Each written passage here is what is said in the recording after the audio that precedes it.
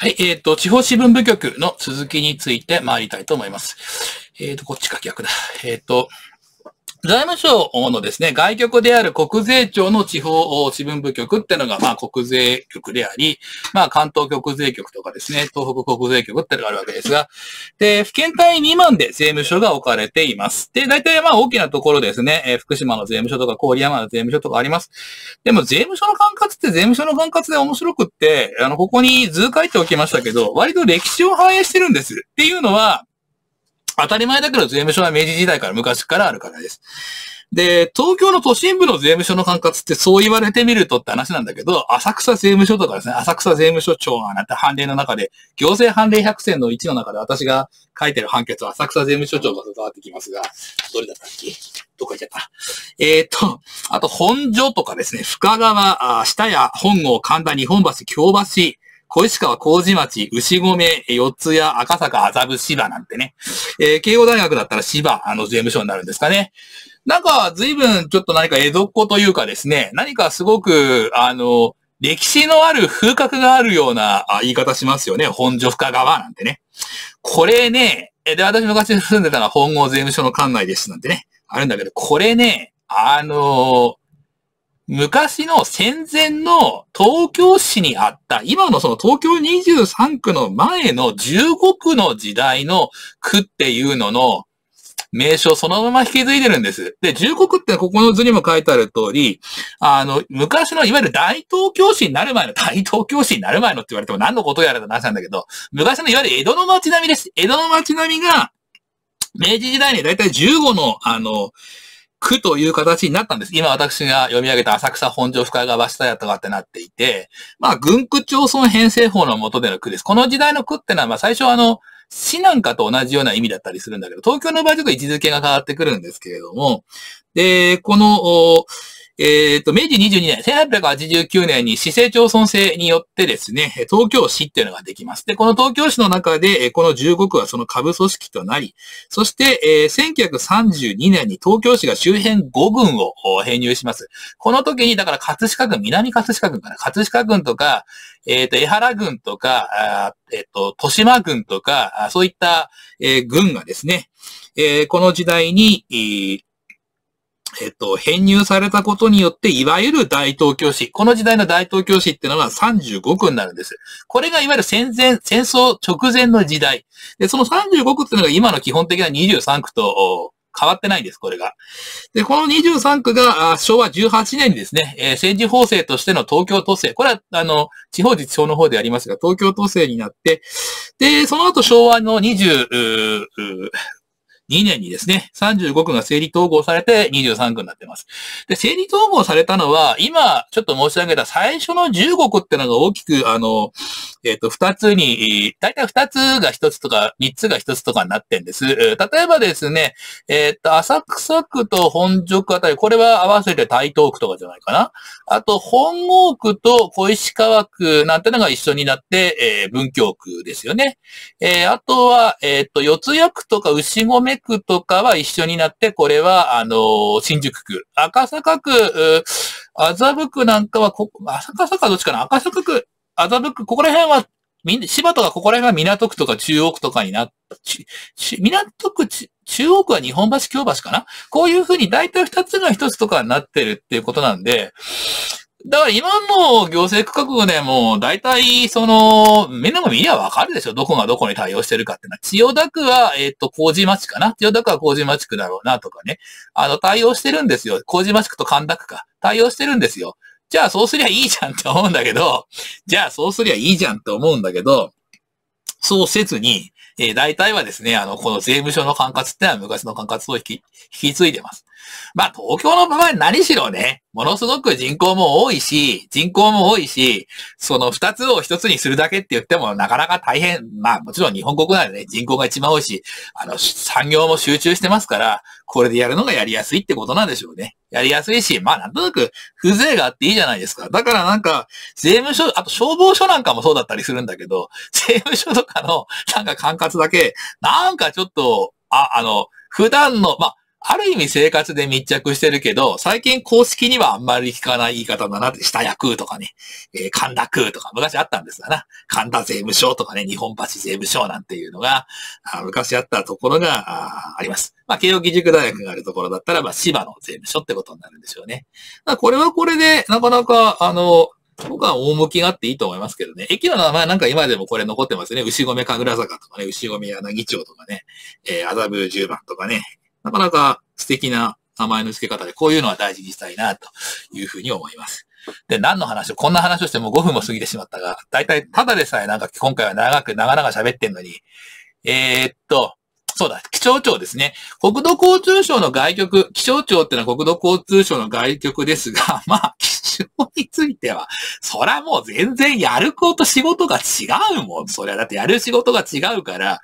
あの、独立してます。で、関空会員で関空気象台っていうのが置かれてますよね。で、おおむね都道府県帯で地方気象台っていうのが置かれてます。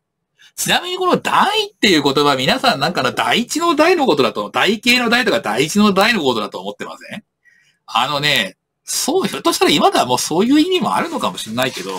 これもともとは、あの、皇帝とか天皇の直属機関って意味ですよ、多分。多分だけど。何かに書いてあるわけじゃないです。何でも書いてある、ウィキペディアでも書いてなかった。えっ、とね、よくあの歴史の授業で魚子代なんて出てくるでしょ？中国の歴史なんかで。あとは、日本の歴史でも近、近年、近代の歴史で近代。これはあの、各管区ごとに置かれた、あの、軍隊ですけれどね。こういう言葉が出てきたりします。あと、気象台の他に天文台ってのもあったりするでしょ？あれなんで台なのかっていうと、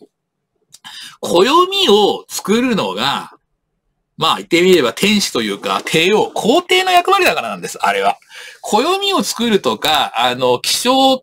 のにを予測する、な、だからいつ日食が起こるとか、月食が起こるとか、ああいうのも含めて、ああいう役割ってのは天皇の直属の役割だから、昔だと例えば安倍の生命が、なんてね、あの、お名字がやってましたなんていう話なんだけれども、そういう役割をもらっている直属機関っていう意味ですよ、あれは。天文台とか気象台っていうのは。なんか、その、小高い山の上に置かれてるから、なんか大変なんじゃないかって勘違いしてる人もいるかもしれませんけど、そういう意味です。あとはですね、外局である海上保安庁には11の管区海上保安部が置かれています。これはもう皆さんもよく、あの、ラジオとか聞いては出てきますよね。第1管区海上保安部がとかね、第2管区海上保安部、第3管区海上保安部っていうのがいっぱい出てきますよね。あそこなんかで管区って言葉が出てきたりするかと思います。さあ、えー、っと、地方新聞部局についてはもう一つちゃんとやんなきゃいけないのが、ちゃんとやんなきゃいけないのかっていうのもあるんだけど、北海道開発局です。あの、えっ、と、沖縄総合、あの、沖縄総合事務局の話は内閣府のところでしましたが、あのー、国土交通省のですね、地方整備局については、えー、北海道開発局という、北海道についてはなぜか北海道開発局という名前になってます。これどういうことなのか説明します。明治初年ですね、あの、まあ、あの、まず、明治の初め、まあ、それまではアイヌ民族が住んでいた土地であった北海道にですね、あの、和人が入って開拓するわけですが、最初に置かれたのが開拓史です。ところでなんかこの開拓史っていうのも、なんか開拓のためになんとなく使いがよこされたのかなっていうふうに思うかもしれないけど、違うからね、この開拓史っていうのも。これも、あの、源のなんか義経とかがなんかあの、勝手に頼朝の、あの、許可を得ないで、なんかあの、任命されたあの、ケビン氏ってのがあるでしょ？これという、同じような意味だからね、この死っていうのも。だからね、あの、こういうところで、案外、あの、こういう歴史の制度とか作る人って、あの、開拓死の死ってことですよ。いろいろね、考えて名前つけてんです。なかなかね、そういうところを皆さんは噛み締めなければいけません。で、3県1局、えっ、ー、と、何県と何県だっけ？函館県と、なんだっけ？ね、ね、室県だったっけ？あと、えっ、ー、と、小樽県だったっけ？なんかともかく3つの県と1つの局があったんだけど、それが廃止されて、明治19年に国の直轄機関として北海道庁が動かれています。この時点での北海道っていうのは、あの、まだですね、今でいう都道府県のような意味じゃないんです。直轄、国の直轄機関なんです。開拓史の時代から。で、そうなんですよ。だからまあ北海道の名前がね、松田武四郎によって北海道の名前が付けてられたい150年ですと、だいたい明治の初め頃に北海道の名前が付きましたって、セレモニーもやってました、式典もやってましたけど、北海道が今のような他の府県と、他の道府県、他の都府県と同じような意味での地方公共団体としての位置づけになったのは実は戦後からなんです。えー、地方自治法によって完全自治体として国から独立したというところがあります。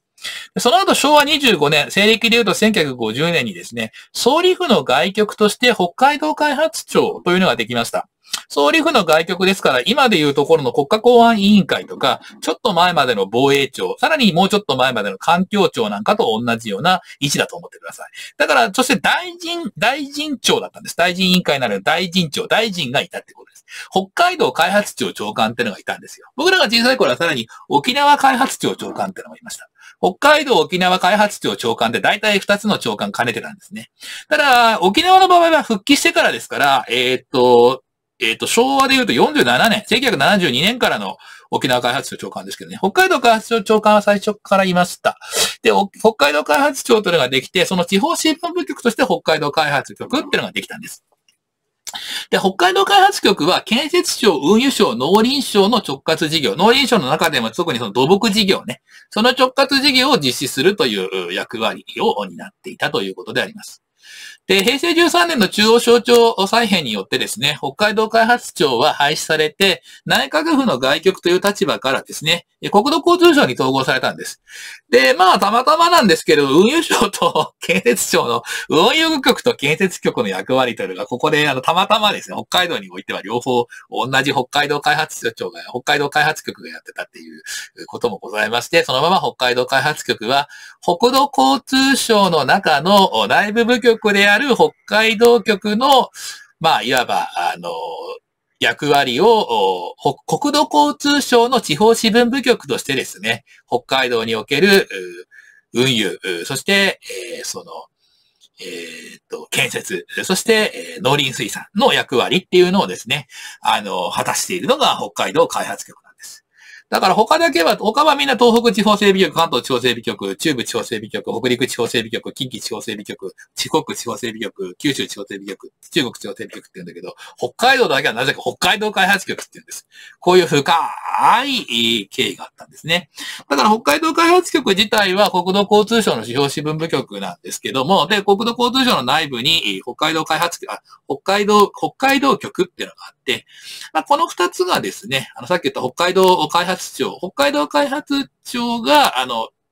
霞が関にあった北海道開発庁が国土交通省の北海道局になり、そして、えー、北海道に置かれているその地方支分部局である北海道開発局っていうのが、まあ、そのまま北海道開発局として、えー、引き継がれたっていう形になっています。で、当たり前ですが、もともと北海道開発局っていうのは、そういうわけで、その沖縄総合事務局と同じで、各省庁の寄り合い所帯みたいな、そういうあの、えっ、ー、と、形をとっていたので、えっ、ー、と、国土交通省になったから、建設と運はどっちにしても国土交通の本省の、えっ、ー、と、指揮監督を受けるんですが、あの、農政事業の、農水関係の公共事業については、それは、あの、農林水産大臣の方から指揮監督を受けるという形になります。で、今ちょっと話をしましたけど、内閣府の地方支分部局は、あ、これも、あの、さっき言った話ですね。内閣府にも地方支分部局の規律は同様に及びます。だ内閣府の場合は地方支分部局、あの、内閣府設置法の中で、あの、1から、あその地方支分部局の定義から書いてありますよね。で、沖縄総合事務局というのが置かれています。こういうわけでですね、沖縄総合事務局と北海道開発局、それぞれにいろいろ特殊な経緯があるんです。えー、私なんかが小さい頃、皆さんも、まあ、あの、40歳以上ぐらいの人に聞いたら、北海道沖縄開発庁長官っていうのが昔いたなっていうのを思い出してもらえればいいかと思います。今はどっちも、役職としてはなくなりました。あと、公正取引委員会に関して言うと、あの、地方事務所、公正取引委員会は内閣府の外局ですけれども、えっ、ー、と、内閣府の外局である公正取引委員会もやっぱ地方、地方の事務所が欲しいので、あの、地方支分部局みたいなものがあるんですが、地方支分部局って言い方はしないで、事務総局の機関という位置づけなんだそうです。なんか私もよくわかんないんだけどね。だから地方支分部局ではなく地方機関という文言が用いられています。あの、沖縄総合事務局のところで、あの、公正取引委員会の、えっ、ー、と、事務総局の機関、沖縄における、その事務総局の機関という役割も、あの、沖縄総合事務局は持っています。はい、ここまでのところで、地方新聞部局でした。